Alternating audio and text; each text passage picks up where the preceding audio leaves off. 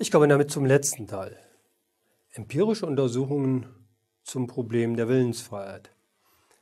Selbst wenn die Überlegungen zutreffen, hm, die ich Ihnen gerade vorgestellt habe, kann man sich immer noch fragen, naja, haben Menschen tatsächlich die Fähigkeit, frei zu handeln, selbst wenn unser Handeln äh, oder selbst wenn Freiheit auch unter Bedingungen der Determination bestehen kann, heißt es ja noch lange nicht, dass wir selbst die erforderlichen Fähigkeiten haben, selbstbestimmt zu handeln. Äh, und es hat in den letzten Jahren eine ganze Reihe von Untersuchungen gegeben, die genau dies in Frage stellen. Am bekanntesten äh, sind Untersuchungen, die in den 80er Jahren von dem amerikanischen Neurophysiologen Benjamin Libet äh, gemacht wurden.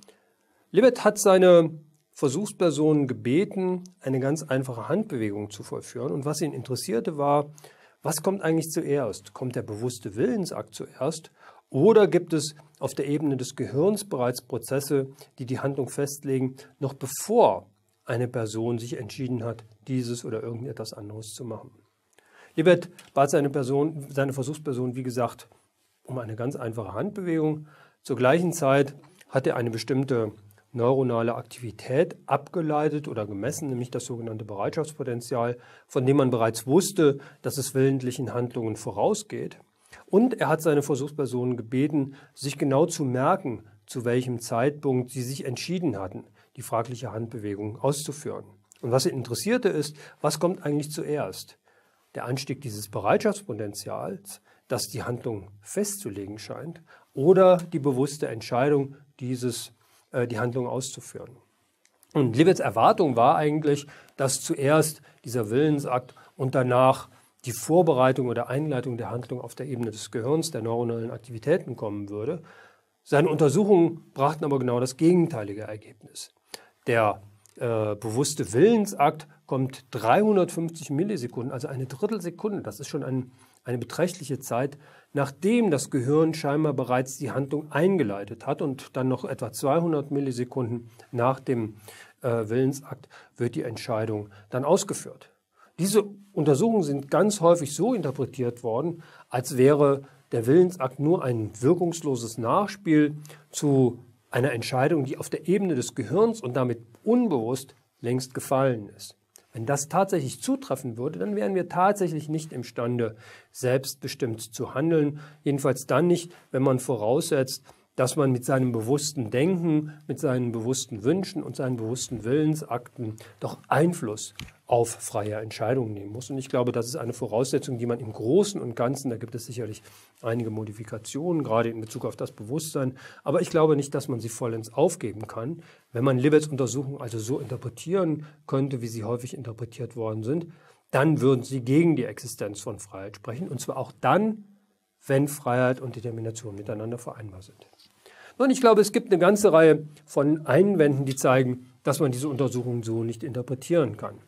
Der erste wichtige Punkt ist, es wird behauptet, in den Experimenten von Libet gäbe es eine Entscheidung, die durch das, die Aktivitäten auf der neuronalen Ebene festgelegt oder determiniert würden. Das ist aber in der Form allein deswegen nicht so, weil es in diesem Experiment keine wirkliche Entscheidung gegeben hat. Was die Versuchspersonen tun würden, nämlich ihre Hand zu bewegen, das ist durch die Instruktion und damit durch den Versuchsleiter von vornherein festgelegt. Es kommt hinzu, dass die Versuchspersonen diese Handbewegung nicht nur einmal vollführt haben, sondern 40 Mal hintereinander vollführt werden müssen. Stellen Sie sich vor, Sie nehmen an einem Experiment teil und der Versuchsleiter sagt Ihnen, Sie müssen jetzt 40 Mal hintereinander Ihre Hand bewegen. Dann werden Sie entweder sagen, gut, ich mache mit, ich mache das eben 40 Mal hintereinander. Äh, oder Sie sagen, nee, das ist mir zu langweilig oder dauert mir zu lange, ich mache es nicht. Danach führen Sie nur noch aus, wofür sie sich einmal entschieden haben. Und ihr Gehirn weiß dann auch, dass es diese äh, Handlung steuern muss. Das heißt, die einzige Entscheidung, die dort fällt, ist eine Entscheidung, die außerhalb des äh, oder vor dem Beginn der eigentlichen Messungen stattfindet. Und es ist nicht schwer zu erklären, dass das Bereitschaftspotenzial sich bereits aufbaut, bevor sie die einzelne, äh, die einzelne Bewegung auslösen. Denn ihr Gehirn weiß ja bereits, dass diese Bewegungen immer und immer wieder kommen. Es gibt einen zweiten Einwand. Äh, wenn es bereits festlegt, was Sie machen werden, und es nur noch darum geht, die Handlung auszulösen, von der sie längst wissen, dass sie immer wieder wiederholt werden muss. Ähm, und wenn man dann feststellt, dass das Bereitschaftspotenzial dem immer vorausgeht, dann ist natürlich gar nicht klar, was das Bereitschaftspotenzial festlegt, wenn von vornherein nicht untersucht wird, ob sie nicht vielleicht noch die andere Hand hätten bewegen können. Und das ist natürlich für die Frage nach, einer Frei nach der Freiheit oder nach der Möglichkeit von alternativen Entscheidungen von ganz entscheidender Bedeutung.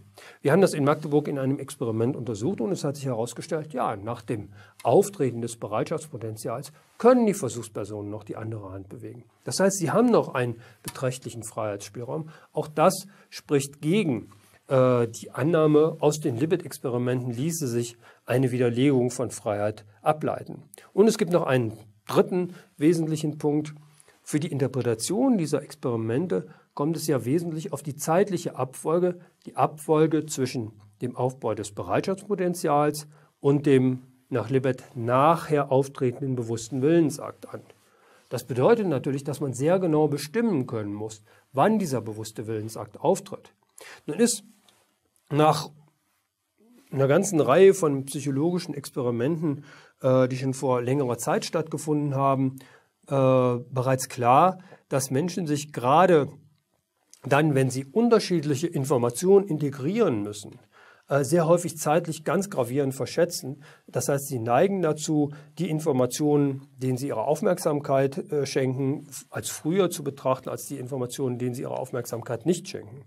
Äh, mit anderen Worten, es ist, wenn es jetzt darauf ankommt, das Auftreten eines bewussten Willensaktes zu messen, indem man zum Beispiel auf eine Uhr guckt, kommt es eben darauf an, worauf achte ich jetzt? Achte ich auf den Willensakt dann würde ich den ein bisschen zu früh einschätzen oder achte ich auf die Uhr, dann würde ich den Willensakt zu spät einschätzen. Das heißt, man sollte erwarten, dass es da sehr große Unterschiede gibt bei äh, der Einschätzung, wann der Willensakt nun aufgetreten ist.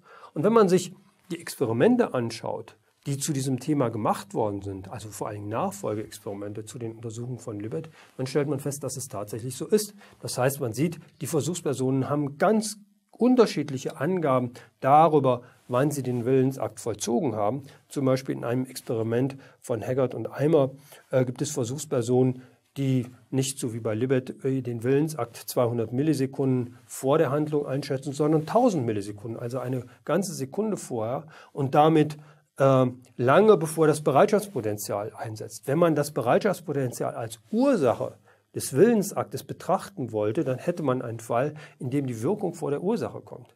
Und das wäre eine ganz merkwürdige Geschichte. In anderen Experimenten hat es viele Versuchspersonen gegeben, äh, die gesagt haben oder die einen Zeitpunkt angegeben haben, der nach der Ausführung der Handlung lag. Zum Teil äh, waren das 40 Prozent der Versuchspersonen. Das heißt, diese Versuchspersonen haben sich grandios verschätzt, was den genauen Zeitpunkt ihres Willensaktes betraf. Und das bedeutet wiederum, dass diese Angaben extrem unzuverlässig sind und dass man extrem vorsichtig sein muss, daraus irgendwelche grundsätzlichen Schlüsse zu ziehen. Also alle diese Überlegungen äh, sprechen dagegen, aus diesen Libet-Experimenten sehr weitreichende äh, Schlüsse zu ziehen. Nun ist es allerdings auch aus anderen Gründen angezweifelt worden, dass menschliche, Intuition, äh, menschliche Intention, also Entschlüsse, eine Handlung zu vollziehen, wirksam sind. Die Libet-Experimente scheinen dafür zu sprechen. Ich habe bereits versucht zu zeigen, äh, dass, ähm, dass das nicht der Fall ist, dass die Libet-Experimente nicht so interpretiert werden können. Aber es hat auch eine ganze Reihe von anderen Überlegungen und Experimenten gegeben, die man eventuell so interpretieren könnte. In jedem Fall scheint einiges dafür zu sprechen, dass die Auskünfte und die Überzeugungen, die wir nachher geben, wenn wir sagen, ich habe eine Handlung ausgelöst oder ich habe eine Handlung äh, initiiert, äh, dass die viel zu tun haben mit nachträglicher Interpretation. Das heißt, wir haben so etwas wie einen mehr oder minder automatisch ablaufenden nachträglichen Interpretationsmechanismus, äh, der uns sagt, ob wir oder der uns das Gefühl gibt, wir haben eben die Handlung ausgeführt oder wir haben die Handlung nicht ausgeführt. Einige Autoren, unter anderem Daniel Wagner, haben daraus den Schluss gezogen, dass unsere Intention, unsere bewussten Wünsche und Überzeugungen nicht wirksam seien. Ähm, ich glaube, dass diese Annahme, und das würde natürlich wiederum bedeuten, dass wir nicht imstande sind, selbstbestimmt zu handeln, denn unsere selbstbestimmten Entscheidungen und Entschlüsse wären in dem Falle ja gar nicht das, was darüber entscheidet, ob ich eine Handlung so oder anders ausführe, sondern es wäre im Grunde genommen wiederum nur so ein nachträgliches Kino. Ich glaube, dass auch dieser Schluss ungerechtfertigt ist und ich möchte äh, oder dafür sprechen eine ganze Reihe von Experimenten, die in den letzten Jahren äh, vollzogen worden sind, unter anderem Experimente, die Patrick Haggard, ein äh, englischer äh, Psychologe und Neurobiologe, ausgeführt hat, die dafür sprechen, dass wir tatsächlich unterscheiden können, ob unsere Intention, unsere Wünsche wirksam sind oder ob sie das nicht sind. Und dass es nicht einfach nur ein nachträglicher Interpretationsprozess ist, ähm, der einfach nur von dem Ergebnis ausgeht und nicht eben von der Wirksamkeit, äh, die, Wirksam die faktische Wirksamkeit eines Wunsches oder einer Entscheidung äh, in, äh, berücksichtigt. Bei Haggard war es so, dass er seinen Versuchspersonen ähm, die Aufgabe gegeben hat, auf einen Knopf zu drücken und dann ähm, zu sagen, wie lang es dauert, bis ein nachträgliches Geräusch äh, entsteht. Es waren, faktisch waren es 250 Millisekunden. In dem Falle, wo die Versuchspersonen einfach nur auf den Knopf drücken und nachher äh, das Geräusch entstand, waren die imstande, die das relativ genau bestimmt. Also sie konnten ziemlich genau sagen, dass es diese 250 Millisekunden waren. Äh, dann gab es eine zweite Bedingung, unter, den Versuchspersonen, unter der den Versuchspersonen gesagt wurde, äh, du löst mit dem Knopfdruck dieses Geräusch aus. Es ist also eine bewusste, eine intentionale Handlung. Deine Intention, den, das Geräusch hervorzubringen, ist die Ursache äh, dieses Geräusches. Unter den Bedingungen äh, unterschätzten die Versuchspersonen den Abstand zwischen dem Knopfdruck, also zwischen der Handlung und damit auch dem Auftreten der Intention und äh, dem Handlungseffekt. War ihre Intention nicht wirksam, haben sie diesen Abstand überschätzt. Äh, Helgert hat diese Bedingung auf folgende Art und Weise erzielt. Er hat wiederum seinen Versuchspersonen gesagt, äh, drückt den Knopf und daraufhin erscheint das Geräusch. Aber er hat den Versuchspersonen gleichzeitig einen Magnetimpuls verabreicht am, äh, in den motorischen Arealen des Gehirns über ein sogenanntes TMS-Gerät, transkraniale Magnetstimulation. Das ist ein Magnetimpuls, der zu neuronalen Aktivitäten führt äh, die in dem Falle äh, bestimmte Bewegungen auslösten. Es war also so, dass die Bewegungen, die die Versuchspersonen faktisch gemacht haben, nicht die Wirkung ihrer Intentionen waren, sondern die Wirkung dieses Magnetimpulses. Und in dem Falle haben sie den Abstand überschätzt. Und das bedeutet, die Versuchspersonen konnten sehr wohl unterscheiden, ob sie eine bestimmte Bewegung willentlich hervorgebracht haben oder ob sie die Bewegung nicht willentlich hervorgebracht haben. Und das spricht dagegen, dass Intentionen unwirksam sind und dass unsere Überzeugung von der Wirksamkeit von Intentionen einfach nur eine nachträgliche Konstruktion ist. Dafür, also für die Wirksamkeit von Intentionen spricht schließlich ein letztes Experiment, das ich Ihnen vorstellen möchte, das von John Dylan Haynes und seiner Gruppe äh, durchgeführt worden ist. In dem Falle ging es darum, dass die Versuchspersonen die Aufgabe hatten, sich zwischen zwei Optionen, und zwar einer Additions- und einer Subtraktionsaufgabe, zu entscheiden. Sie sollten dann etwas später diese Rechen, äh, Rechenaufgabe ausführen.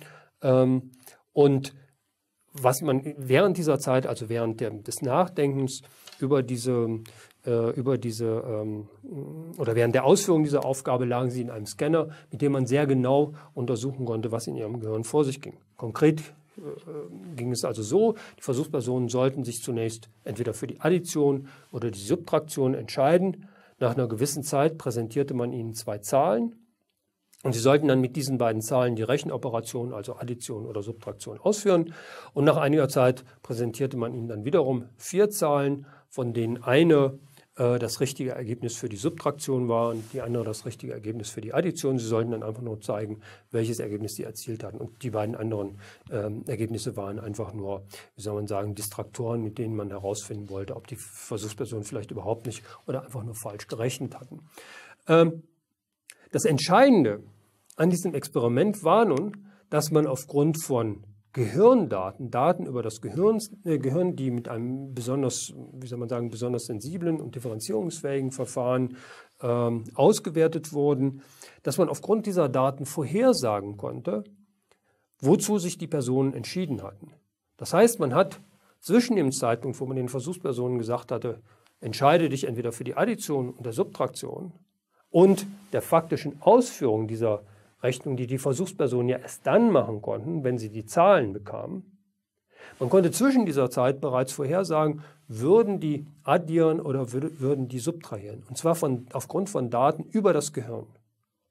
Und das ist deswegen äh, von Interesse, weil die Versuchspersonen zu dem Zeitpunkt ja bereits eine bewusste Intention herausgebildet hatten.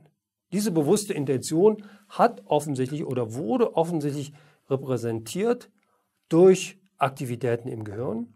Und diese Aktivitäten im Gehirn waren offensichtlich verantwortlich für das, was die Versuchspersonen nachher taten. Sonst hätte man das aufgrund dieser Daten nicht voraussagen können. Und das spricht natürlich dafür, dass diese Intention, entweder zu addieren oder zu subtrahieren, wirksam war. Das heißt, das spricht ebenfalls wieder dafür, dass unsere Intention, so wie es der eben vorgestellte Freiheitsbegriff auch verlangt, unsere Intentionen wirksam sind, dass sie einen Einfluss darauf haben, ob wir das eine oder das andere tun.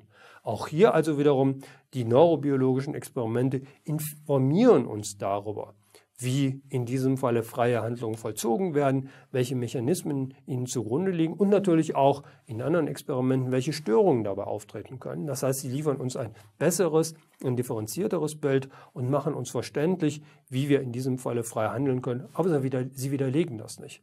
Und das wäre auch eine etwas merkwürdige Geschichte. Die Fähigkeit, frei zu handeln, ist etwas, was wir im Alltag immer und immer und immer wieder beweisen. Wir können uns verantwortlich entscheiden normalerweise. Es gibt natürlich Menschen, die nicht dazu imstande sind, die unter bestimmten Bedingungen nicht dazu imstande sind oder die diese Fähigkeit, wie zum Beispiel kleine Kinder, noch nicht herausgebildet haben. Auch das können wir sehr gut voneinander unterscheiden. Es wäre aber ganz merkwürdig, wenn alle Erwachsenen, sobald man sie ins Labor bringen würde, sich plötzlich nur noch so äh, verhalten würden wie kleine Kinder. Wir würden dann nicht wenn das tatsächlich so wäre, würden wir nicht den Unterschied zwischen Erwachsenen und kleinen Kindern aufgeben, sondern wir würden uns fragen, was ist in dem Labor daneben gegangen? Und auch das spricht also dagegen. Unsere extrem gut dokumentierte und immer wieder bestätigte Erfahrung mit uns selber spricht sehr dagegen, dass mit unserem Menschenbild etwas fundamental nicht stimmen sollte. Kommen wir zu einer Zusammenfassung. Ich habe versucht zu zeigen, dass innerhalb der Geschichte der Wissenschaften unser Menschenbild extrem stabil geblieben ist. Es ist also nicht so, dass, die, dass man die Wissenschaftsgeschichte, zumindest die Wissenschaftsgeschichte bis weit ins 19. Jahrhundert, als einen Prozess von Kränkungen auffassen kann. Ganz im Gegenteil, die fundamentalen Aspekte unseres Menschenbildes, die Vorstellung, dass wir verantwortliche, freie äh, und selbstbewusste Lebewesen sind, diese Vorstellung hat sich innerhalb dieser ganz langen Zeit im Prinzip überhaupt nicht verändert. Das heißt natürlich nicht, dass es solche Veränderungen heute nicht geben könnte. Die wesentlichen Diskussionspunkte sind zum einen das Problem des Selbstbewusstseins oder des Ich. Ist das Ich eine Illusion oder ist es das nicht? Und das Problem der Willensfreiheit. Ich habe versucht zu zeigen, dass auch in diesen beiden Bereichen kein Grund für die Befürchtung ähm, besteht, dass unser Menschenbild und damit unsere Vorstellung, dass wir frei und äh, selbstbewusst sind, dass unser Menschenbild fundamental falsch ist. Voraussetzung dafür ist allerdings, was das Ich betrifft, dass wir uns von dieser merkwürdigen metaphysischen Vorstellung eines Ich im Inneren unseres Gehirns oder eines Ich im Inneren unseres kognitiven Systems lösen. Das ist eine verfehlte Vorstellung, die man gar nicht widerlegen muss oder die ähm, nach der zu suchen auf der wissenschaftlichen Ebene überhaupt keinen Sinn hat. Was sinnvoll ist, ist die Vorstellung, dass wir so etwas wie Selbstbewusstsein haben.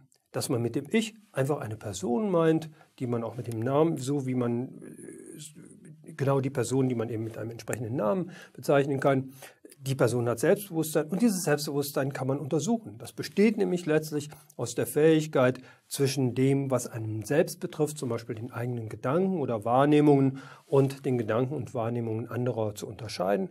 Und das ist etwas, dessen Entstehung, die Entstehung dieses Selbstbewusstseins, die können wir mit psychologischen und auch neurobiologischen Verfahren untersuchen. Die Wissenschaft verhilft uns also dazu, genauer zu verstehen, wie so etwas wie Selbstbewusstsein entsteht. Sie widerlegt es nicht. Ähnliches gilt für die Willensfreiheit. Die entscheidende Voraussetzung ist dazu, dass man einsieht, dass Willensfreiheit nichts mit der Aufhebung von Determination zu tun hat. Die Aufhebung von Determination führt zu mehr Zufall und verringert unsere Kontrolle über unser Handeln. Wenn man das verstanden hat, dann kann man eben untersuchen, dann sieht man, dass Freiheit so etwas ist wie Selbstbestimmung und das Ausmaß und das Entstehen dieser Selbstbestimmung. Das kann man wiederum in äh, Experimenten, in psychologischen und in neurobiologischen Experimenten untersuchen. Ähm, und diese Untersuchungen und auch eine Reihe von sehr bekannten Untersuchungen widersprechen nicht unserer Fähigkeit, frei und verantwortlich zu handeln, sondern sie bestätigen das. Ich habe vor allen Dingen versucht, das am Beispiel von Intentionen äh, zu zeigen. Äh, die neurobiologischen Untersuchungen, die uns da vorliegen, bestätigen die Wirksamkeit von Intentionen, von menschlichen Wünschen und Überzeugungen und Handlungsentschlüssen und widerlegen sie nicht. All dies spricht also dafür, dass es keinen grundsätzlichen Widerspruch von Wissenschaft, von Hirnforschung und Menschenbild gibt, sondern dass die Wissenschaft zu einem genaueren, zu einem differenzierteren und zu einem verständlicheren Bild äh, von uns selber führen und dass sie uns auch dazu befähigen, äh, entsprechende Abweichungen, aber auch entsprechende Störungen der für unser Menschenbild zentralen Fähigkeiten äh, besser zu verstehen und auch etwas gegen diese Störungen unternehmen zu können. Diese größeren Fähigkeiten, diese besseren Einsichten, die wir haben, sind natürlich mit einem größeren Maß von Verantwortung äh, verbunden. Das heißt, wir müssen uns genauer dafür informieren, darüber informieren und wir müssen uns auch genauer überlegen, was wir machen, was wir untersuchen und was wir vielleicht nicht machen und was wir vielleicht auch nicht untersuchen. Äh, aber ich glaube, das ist etwas, das ist ein Problem, mit dem wir immer zu tun haben, wenn sich die menschlichen Fähigkeiten und die menschlichen Einsichten erweitern. Alles das spricht also in jedem Falle dafür, wie gesagt, dass es keinen Widerspruch zwischen Wissenschaft und Menschenbild gibt, dass die Zukunft der Hirnforschung uns nicht bedroht, sondern uns zusätzliche Möglichkeiten bietet, jedenfalls dann, wenn wir verantwortlich damit umgehen.